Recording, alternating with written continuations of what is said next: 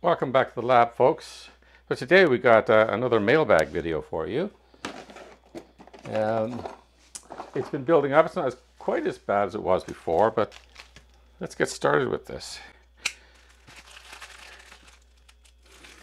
Uh, these mailbag videos tend to be uh, my best videos uh, overall. Ah, okay, so here is a spare tip for my my iron, my FNIRSI iron. So it is of the type, the tip that I like.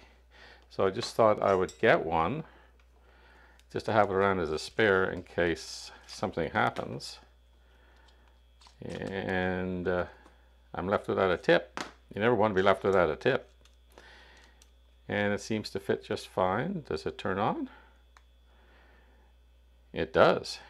Look at that. Okay, onwards and upwards.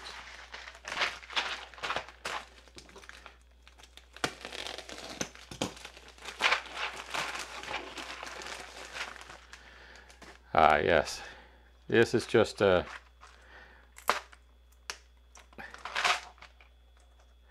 Oh, they got some tape on there. Yes, they do. It's just some crimp on DuPont connectors or DuPont style of various, uh, you know, various sizes, one pin, two pin, three pin, so forth, and uh, male and female pins allow me to make up some, uh, some custom cables, which I have a need to do once in a while. All nicely housed in a convenient little container.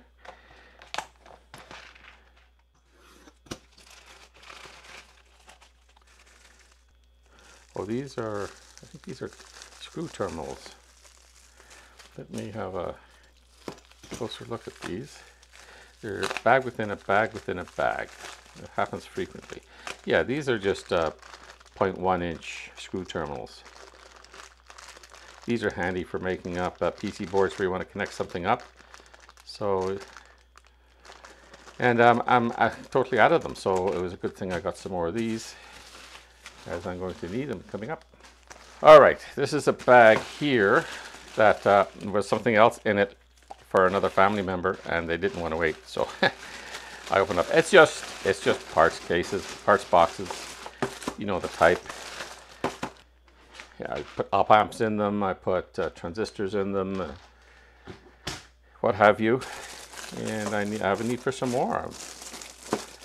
And they're they're pretty standard. This one's here. This one here. This one's a, a, a name brand, Airage and slightly slightly better built than these ones but I find uh, these ones here do uh, a, an awesomely good job and they're I think they're around about half the price of these ones but they work they work quite well and they do what they're supposed to do and seeing as I'm not um, you know I'm not dragging these things around behind a car or something like that they don't have to be incredibly tough they just have to work and they do so these ones here, like I said, are a little bit tougher. The plastic's a little bit thicker, you know, a little bit heavier duty. But, you know, if you're just going to put parts in it and pick it up and open it up once, uh, twice a year, then uh, these ones are perfectly fine for that.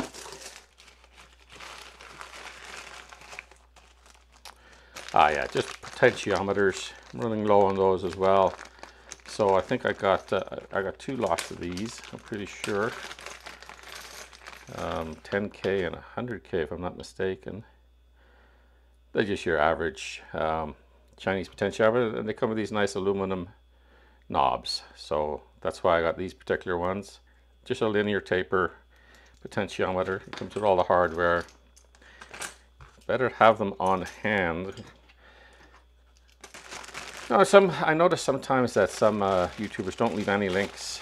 You know, they'll show you something a big Clive is great for that. Like he'll show you something very, very interesting and he won't leave a link to that thing. And, uh, you know, sometimes it's, it's, it's, tough to find what he has shown you. I mean, he shows it to you, you like it, you want to get one, play around with it or to use it. And uh, yeah, I wish he'd leave links. I've, I've asked him to do that before and, you know, he'll, he'll like my um, comment and give me a heart. So I think he probably should have somebody doing that, go through every comment and like it and give it a heart. But he never, uh, he never acts on it. This is just another little case.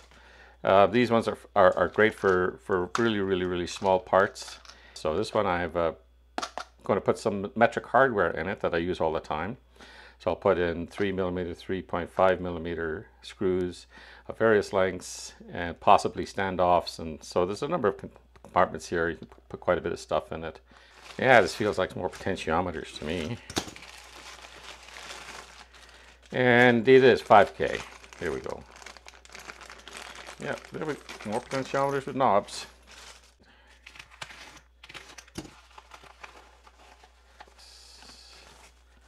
Ah, this is power resistors. Yep. 5 watt, 0.02 ohms. All right, now we're going on to some more interesting stuff. So I've got this here. This this thing here I paid for myself. I bought this. And I think there's the order number and the shipping information they sent me. I think I know what it is. It's from FNIRSI. And it's well packaged. As usual, the, the stuff that they send is usually very, very well packaged, I must say. and what this is, this is the uh, FNIRSI ST90 iron holder, and it's a stand. It's a soldering iron stand. Now it's a little bit, it looks a little bit different now that I see it. it looks a little bit different than the one they show uh, on their website that I ordered. It's got a, a, bigger casing around it. It's nice, it's nice, it's got a good feel, good weight to it. And it's for this iron here. It's, it seems to be very well constructed. It's heavy duty. It's got, it comes with a fairly decent sponge. I do use sponges, as I've already mentioned before in a recent video. It Comes with a little tray for the sponge. It's really well built. It's got this little adjustment knob here on the side. You can set it to whatever angle you want between here and here and uh, clamp it in place. Nice tray. Yeah, very well designed, very well made overall. Now this next item here, I'm going to take it out of this box, but I'm not going to uh, take it out of its other box if it has one until another video. This is going to have its own video. This is something um, sent me. So I guess I've been, you know, reviewing some of their stuff online and I've been working with them, uh, working out problems with some of their stuff. So they said, hey, do you want one of these to try out? So I said, sure, send it to me. So I, uh, being quite upfront about it, I got this for nothing. They're not paying me to do the review, and uh, they said go ahead and review it whatever way you want. So this is one of these intelligent color screen multimeters. It's the DMT99. I've seen some other reviews of it online, but I've never had uh, one of these smart multimeters before. I've never had one in my hands. So I, uh, I'm eager to try and find out whether or not I like the concept. I'm very much, mm, you know, a traditional meter kind of guy. So yeah, I'm excited to, to get this one opened up and check it out. So it's got, uh, I'll give you all the information here about it on the back in the two main languages would be Chinese and English.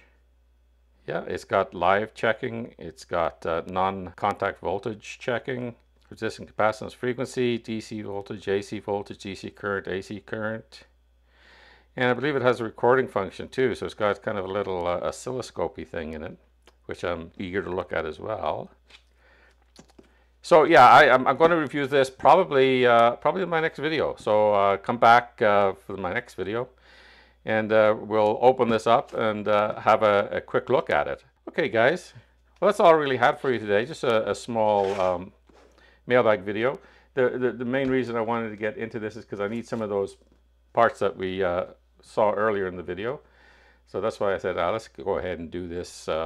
And uh, that way I can get those parts out and get on with a project. Oh, you know, there's one other thing I wanted to show you. This is pretty amazing. So this here is a stenograph keyboard.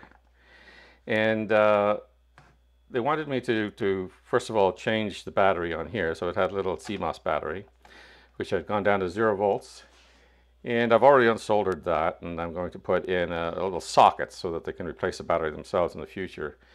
And then there was a battery pack over here that they wanted me to replace as well. So that's all fine and dandy.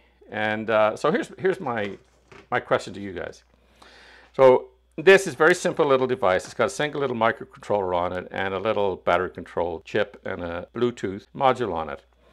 It's also got a socket here for an SD card and so forth. It's got a USB connector on the lane over here. It's relatively simple little device. That's it. That's the, there's nothing else on it, right? And uh, it's got a little reset switch here, which you can get uh, in through a hole in the back. But other than that, that's it. I looked this up. Now this is an older model. Uh, they don't actually make this particular model anymore. And they only make one. If you go over to Stenovations, I, I believe they only make one. It's still called the Lightspeed. I think now it's called the Lightspeed 2 or the Lightspeed Plus or something like that. These go for about, the, like the new model goes for about 10,000 US dollars. I was kind of shocked by that. Uh, but you know what? Uh, you know, it's, it's only it's only pulling out a battery, and you know, I, I have to actually make uh, the, the, battery over here because the the manufacturer of the battery is no longer around, and it's a, it's a particularly strange little arrangement of nickel metal hydride. Uh, so I have to make the battery here. But that, you know, that's not going to take very long. So I just charged them my minimal charge should I charge my minimum charge or should I be charging something more commensurate with what the apparent value of something like this is? I mean, because I, I would be willing to bet if he sent it back to Stenovations, he wouldn't be getting those two batteries changed for 130 bucks. I'd be willing to bet that he'd probably pay more like 1,500 or $2,000. I've, I've had a discussion with other people and they said, oh, you're, you're being silly. You're, you, you should charge not what the job is worth, but what the product is worth. You should charge according to that. But I don't believe so. I think I'm just giving my minimum labor charge, which is usually one hour, and it's not going to take me much more than an hour to finish this. And the, the cost of the parts, which I, you know, I, I mark them up about 25% or so, cover my time in doing the ordering and but that's it. So uh, let me know, guys. Uh, what do you think? Uh, should I, instead of charging my minimum charge? Should I, should I be charging a lot more because this thing is worth $10,000? That's incredible. I, it's amazing they don't have any competition. Like, what do you suppose the cost of this thing is to make? They charge that kind of price because they can. And uh, that's the argument some of my friends were giving me. You should charge a lot more because you can. Anyway, I would be interested to hear what you guys have said. Thanks for coming out to join me today, guys. I really appreciate it. We'll see you in the next video when I uh, have a look at this little meter here from FNIRSI. And other than that, bye-bye.